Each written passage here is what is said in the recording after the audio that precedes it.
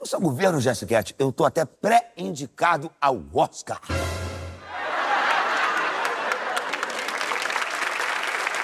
Tá fazendo o que aqui então, Rio Centro? É porque, é, senta que lá vem história. É o seguinte, a, a indústria de lá, né, o estúdio, né, contratou um produtor que me contratou, sacou? Pra eu vir pra cá pra descobrir, assim, uma, uma locação, é, um, um cenário pra fazer uma cena nova do meu filme de ação novo aqui. Ah, peraí. Rápidos e Mortais 13 vai ser aqui no Brasil? Não, meu querido. Aqui no Meia.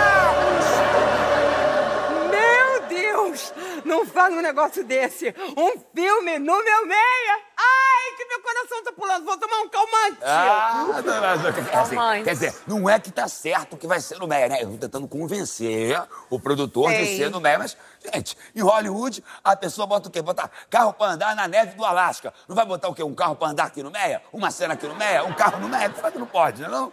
É, o carro vai ser depenado, né? É. Na, na primeira cena, é depenar o carro inteiro já. É, isso aí é verdade, mas pelo amor de Deus, Jéssica, você não vai falar isso quando o produtor gringo chegar aqui, né? Não sei, depende.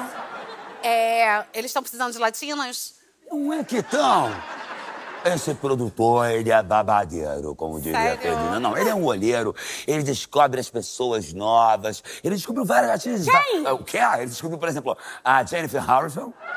É, que ela fez aquele filme Por Trás do Bueiro, há um bueiro que tem um bueiro que tem um rato. Você lembra desse filme? Não. Não, né? Ah, tá vendo, Eu tô te falando, É a rapaz. chance da gente conhecer essas estrelas tudo de Hollywood. Eu vou fazer o seguinte, vou ligar pra Tiago, meu professor de inglês, e já vou dar uma treinada no meu inglês, Tá. tá, bom? É, thank you, you'll be back, I love you. I love you! É, eu tava dizendo pra lacrar, mas eu também te I love you.